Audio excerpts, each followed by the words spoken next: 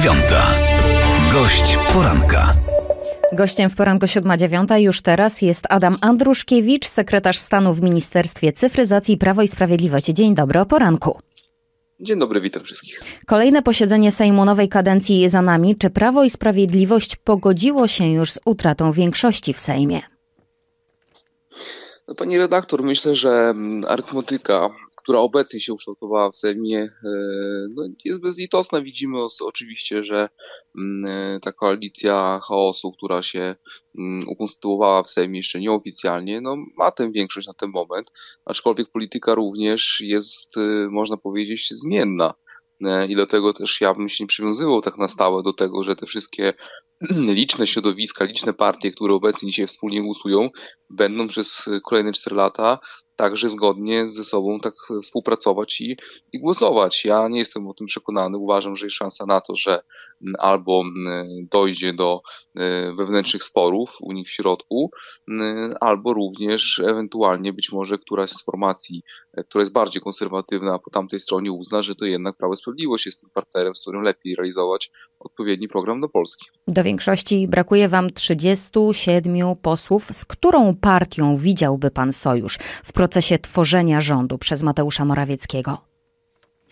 No, pan premier Mateusz Morawiecki oczywiście mm, podjął misję tworzenia rządu z uwagi na fakt, że to Prawo i Sprawiedliwość wygrało e, wybory parlamentarne w Polsce. Wbrew temu, co słyszymy w różnych e, miejscach, to nie ma, nie ma czegoś takiego jak jedna partia opozycja, że to opozycja wygrała wybory. No, wybory wygrało Prawo i Sprawiedliwość, to, że mm, pozostałe formacje troszeczkę pod dyktando mm, pana Tuska mm, dzisiaj zaczynają ze sobą e, kooperować, no to jest jedno, ale ten proces, jak, tak jak powiedziałem wcześniej, trwać wiecznie nie musi.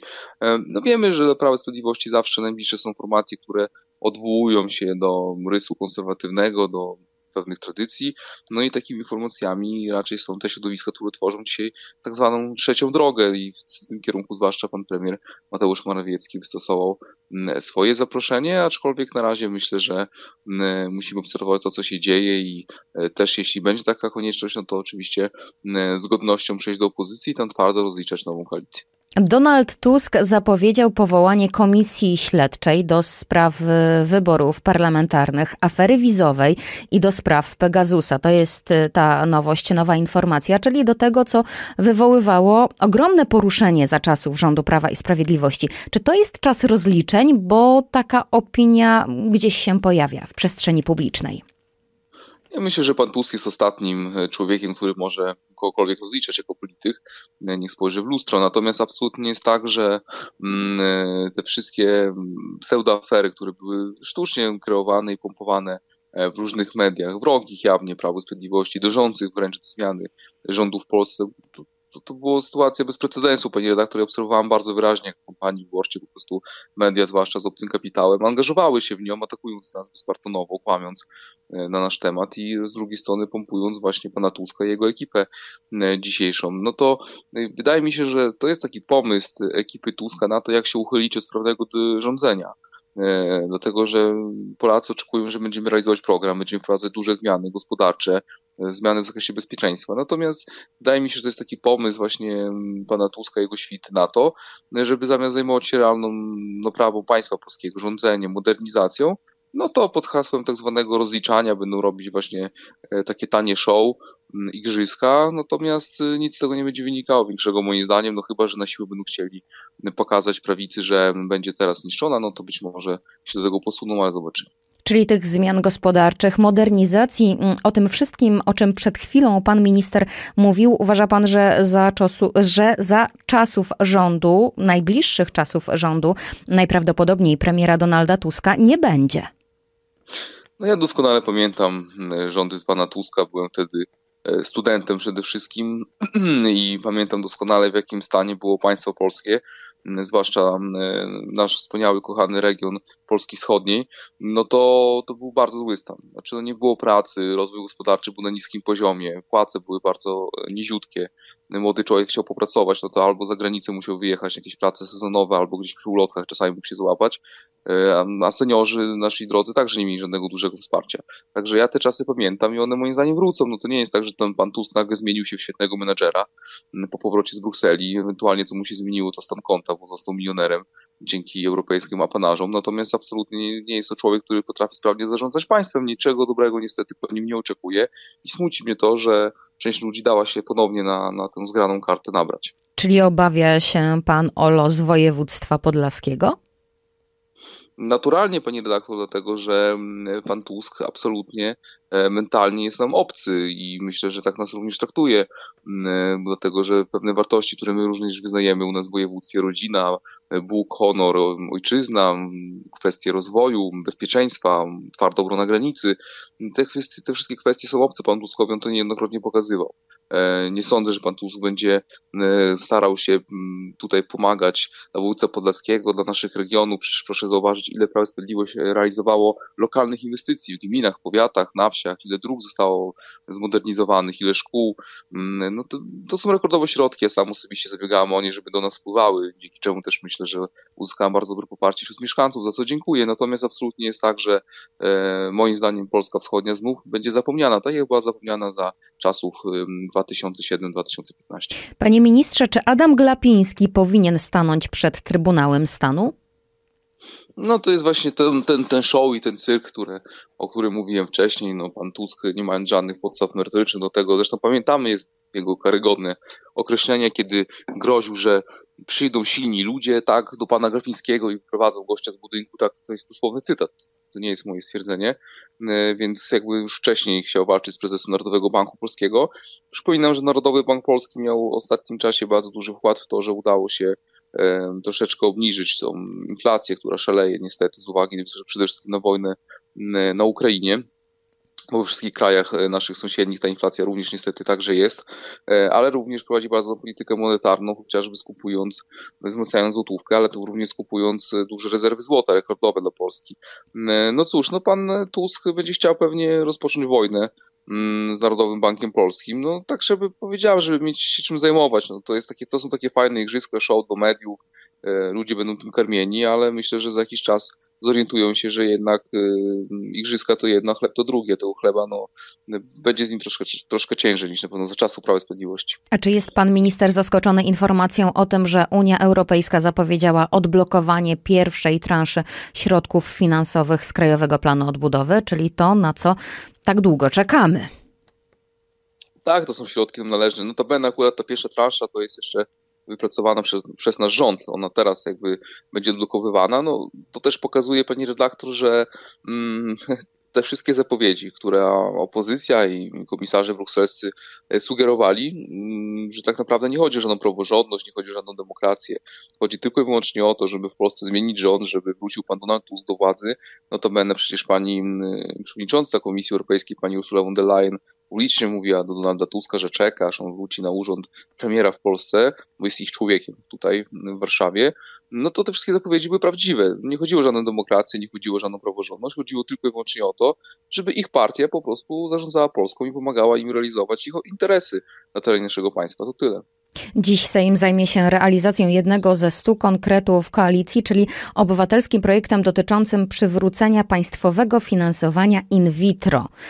Czy to powinno być finansowane w Polsce, czy nie? Pani redaktor, ja jako osoba wierząca e, zawsze uważam, że tego typu projekty, które gdzieś dotykają kwestii takiej fundamentalnej, jak, jak poczęcie e, nowego życia, no, powinny być e, przedmiotem sumienia każdego z obywateli. Każdy obywatel sam w swoim sumieniu powinien rozstrzygać, czy jest to etyczne, czy nie.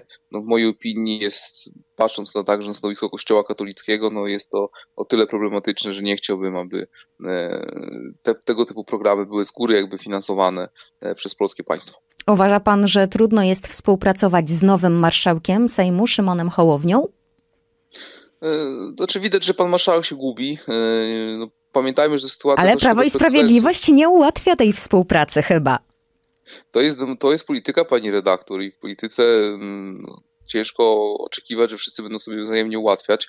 Polityka jest raczej twardą grą. E, mm, tutaj może poprzestanę. Natomiast generalnie jest tak, że mm, pan Hołownia został to dopiero posłem. Podejrzewam, że nie wie dokładnie, jak Sejm wygląda w środku, jeszcze nie zna jego wszystkich tajemnic kuluarów, a już ma nim zarządzać. No, no to, to mocny zarzut. E, no, to jest raczej zarzut wynikający z praktyki. Ja jestem posłem trzecią kadencję. Pamiętam, jak pierwszy raz wchodziłem w mach parlamentu w roku 2015. No i wówczas jakby też ten parlament, żeby poznać, no troszeczkę mi zajęło parę tygodni. To jest duży budynek, pani redaktor, proszę mi wierzyć na słowo. I myślę, że pan Hołownia również tego typu przeżycie dzisiaj ma na równocześnie ma izbą zarządzać. Widać, że nie do końca sobie radzi, bo się gubi. E, wczoraj nie do końca dobrze przedstawił wnioski formalne do głosowania. E, także no, zobaczymy, jak to będzie postępowało i ocenimy go za kilka miesięcy. Mm, przejdźmy teraz do tego, czym zajmuje się Pan na co dzień. W jakim stanie zostawicie Ministerstwo Cyfryzacji? Myślę, że bardzo dobrym. Ja patrząc na to, jak wyglądała cyfryzacja za naszych poprzedników, a jak wygląda Ministerstwo Cyfryzacji po tym, jak rząd Prawa i Sprawiedliwości dzisiaj mm, będzie kończył swoją drugą kadencję i ją zdawał, no to śmiem twierdzić, postawię taką tezę, że zostaliśmy Polskę papierową, a zostawiamy cyfrową, dlatego że e, kiedy rząd Prawa i Sprawiedliwości mm, przejmował władzę, kiedy również ja dołączałem chociażby do Ministerstwa Cyfryzacji, było to już niemal 5 lat temu, no to mm, liczba użytkowników chociażby obywatela była symboliczna, to była taka bardziej taki gadżet, dla zainteresowanych.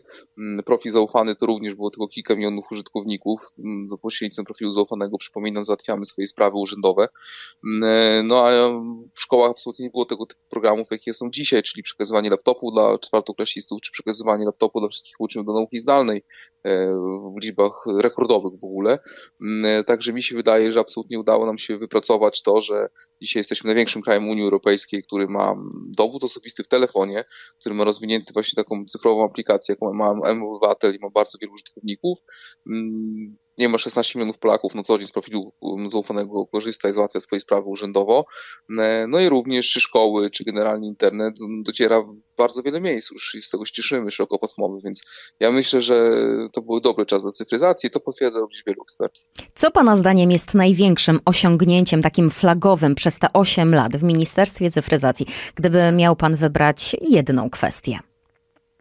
No, zdecydowanie właśnie, pani redaktor, jest to kwestia zbudowania e, cyfrowego portfela na nasze dokumenty, czy aplikacja obywatel, w którym mamy swój dowód osobisty respektowany w naszym państwie na równi z dowodem e, tradycyjnym, mamy N-kartę dużej rodziny, mamy tam legitymację szkolną, mamy legitymację studencką, mamy również legitymację emeryta rencisty, także tam jest bardzo wiele dokumentów, które na co dzień jest traktowane jak dokumenty tradycyjne, Mm, to nie jest standard w Unii Europejskiej. Jesteśmy pod tym kątem o wiele lepiej rozwinięci niż e, znacznie bogatsze niby od nas kraje mm, zachodnie. E, no i tym się szczycimy i jesteśmy z tego dumni, bo e, to było wyzwanie, które wydawało się dla wielu niemożliwe. Ja pamiętam, kiedy rozpoczęliśmy pracę nad tym projektem, wielu mówiło, że nie da się przekonać administracji państwowej i generalnie całego państwa do tego, żeby respektować dokumenty w telefonie. Jak widać się da. I ostatnie już pytanie, czyli ta informacja, która pojawiła się ostatnio, jest, że tak powiem, świeża. Czy zastrzegł Pan już swój numer PESEL?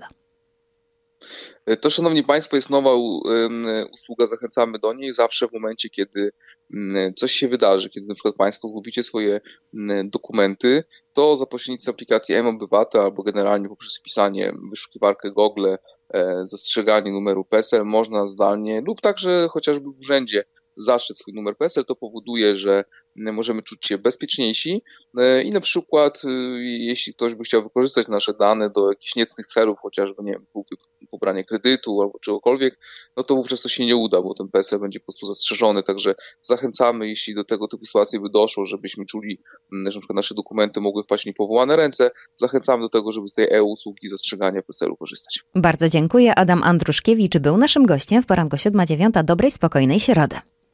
Dziękuję i wzajemnie pozdrawiam Państwa. Siódma, dziewiąta. Gość poranka.